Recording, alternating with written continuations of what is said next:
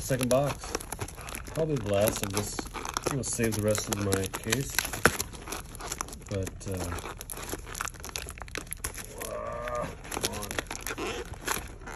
seal's so strong. Man, what the hell?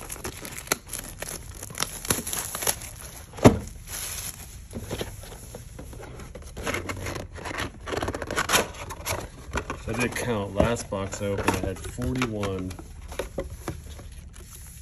41 rares and mythics. Oh, that's weird.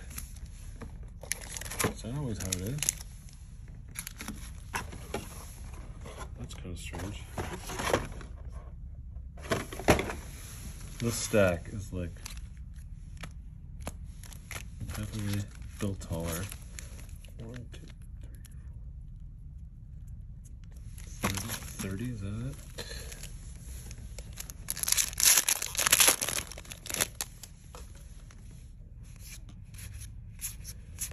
This time I'm gonna move a little quicker than last video. Lashweed Lurker, our first list card.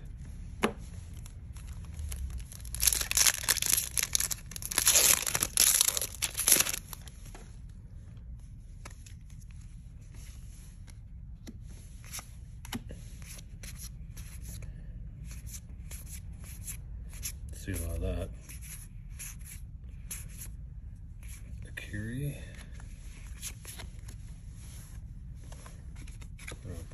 I'll keep that in the stack. Yeah, I think I think these packs. I think the set set boosters are. ah, they're here to stay for sure. There we go.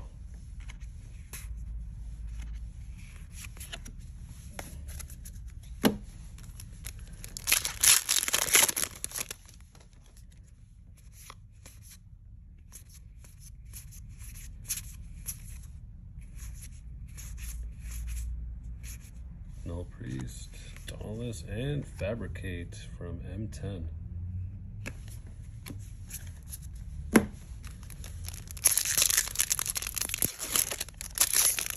Yeah, it'll be interesting to see how this all plays out. Get all on there.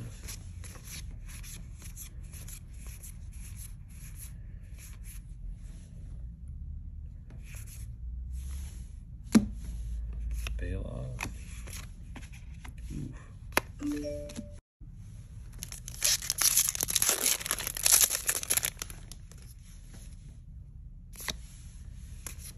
Ruin Crab. Oh, I swear I thought. Do that again. Ooh, Nahiri, nice.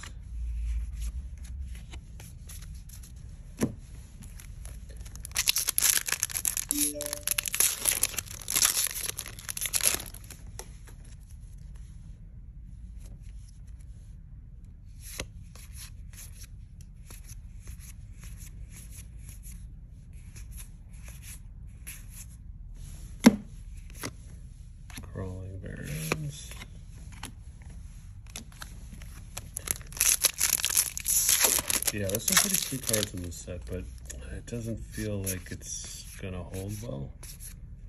I don't know. It's hard to say. Always hard to say. Ooh, I like that. Alternate Ruin Crab. Just feels like this set's a little thin. Um, does have some cool stuff. I think the land cycle's good, though, obviously.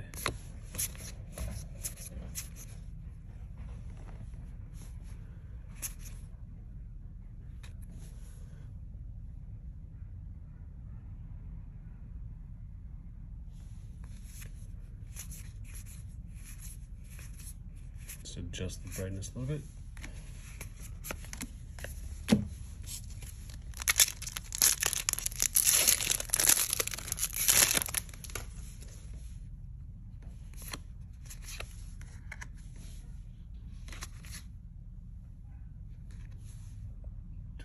Brightness down a little bit.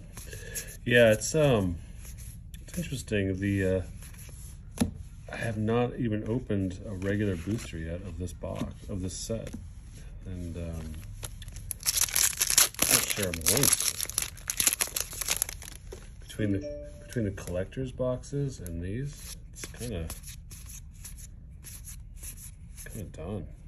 Ruin Crab, Luminarch, it's good.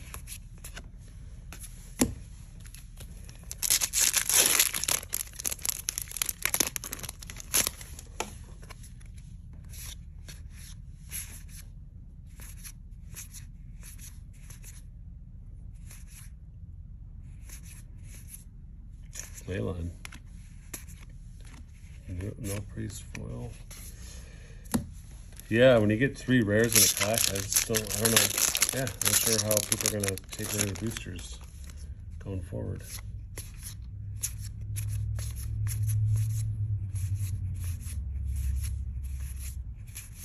Clearwater. And Beseech the Queen.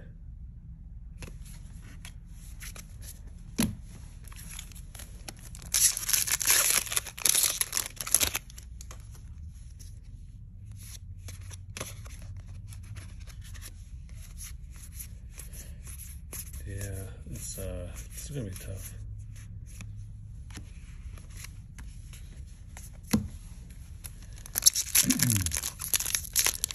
yeah, I do think Magic has to really focus on the player base. I'm worried that the pendulum is swinging too far towards collector rather than player, and they have to lash out. That's cool, cool looking um, they have to really focus gameplay and supporting the player base. I don't mind that they're they're making a lot of uh, cards that need to be banned. I think some people overreact to that. I get it that more have been banned recently than a, a long time, but I actually think that's a in a way a good thing because um, you know, they're pushing the boundaries on stuff. They're seeing what's going to work, what, you know, just trying stuff. Oh, there we go. Um, trying stuff that works, you know, and there's nothing wrong with that. They, if they need to, you know, make some mistakes and just to see what, what happens if they turn the power up and down and try different strategies on the card design and mechanics I think it's okay. I, I don't really, the banning doesn't bother me at all. If, in fact, I think they should be doing it more frequently, if anything. Um, you know, tweaking the, tweaking it so that it's more fun, it's more competitive, um, more interactive. That's okay with me. I think I think that just shows that they're trying hard to come up with new strategies and, and new gameplay, and that's good. Some people will say, oh, it's, you know, they didn't not play testing enough. Well, I mean, there's no way they could play test. Oh man, they, my art card's busted. Um, there's no way they could play test it enough. I mean, we have millions of people playing it. It's not, uh, it's not the same. I get they, they should play test it some, but I think it's it's okay to release stuff and then they got to ban it. It's fine. It's not a big deal. That's a great card. Um, that's, that's the most valuable card in the set right now. Yeah, if they have to ban stuff, then ban it. Um, keep trying, you know, keep pushing the envelope on design, game design, mechanics, and all that stuff. Card power, whatever. It's not that not that big of a deal if they have to ban stuff because it can always be unbanned. It's not a big deal. Now, if you're trying to invest in cards, singles, which is, oh, nice. If you're trying to invest in singles and stuff and you're picking them up early, you know, that's always, that's a tough game. I don't, I don't recommend it at all. It's, um, you know, it's the deep end of the swimming pool and it's easy to get messed up there. So look at that. Nice construct. Um, yeah, you gotta be really careful with stuff like that, and it's not worth it. Like, and it's not their job to protect your investment in terms of speculating on cards. Uh, I think their job is to make the game fun, and that's okay if, if you know if they have to make changes. Nimble. Oh, okay. And there's that.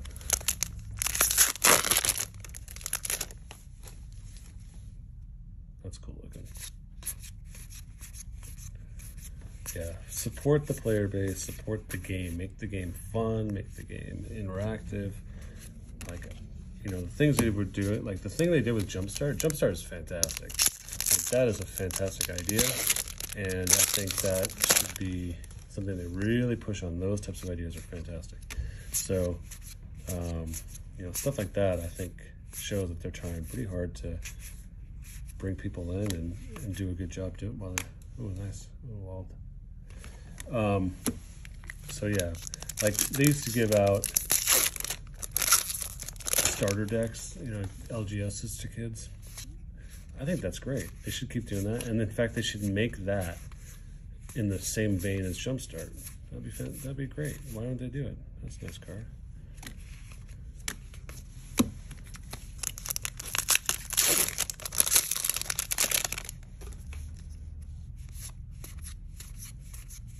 yeah, Jumpstart definitely worth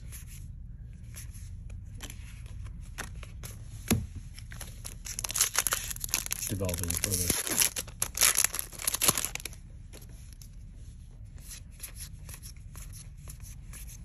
Commander Legends, that's I think that's pretty awesome. That's the cards I've seen out of there. Commander Legends, that's another great idea. You know, good. Finally, they're acknowledging the commander space and um, you know, I'll have more to say on that, but that's smart. This, uh, okay, okay, let's see what we get here.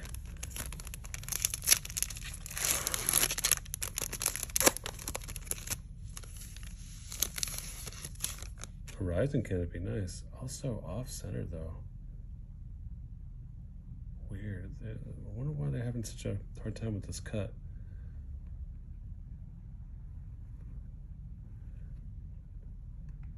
Cool. All right. Well, actually, I want to do one thing. One thing. I just want to compare something for you guys. So not looking at the list. This is the rare and mythic. So one, two, three,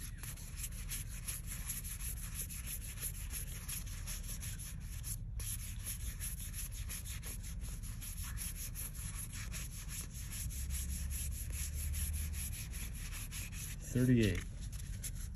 Oh, that's not bad. Right, guys, take it easy.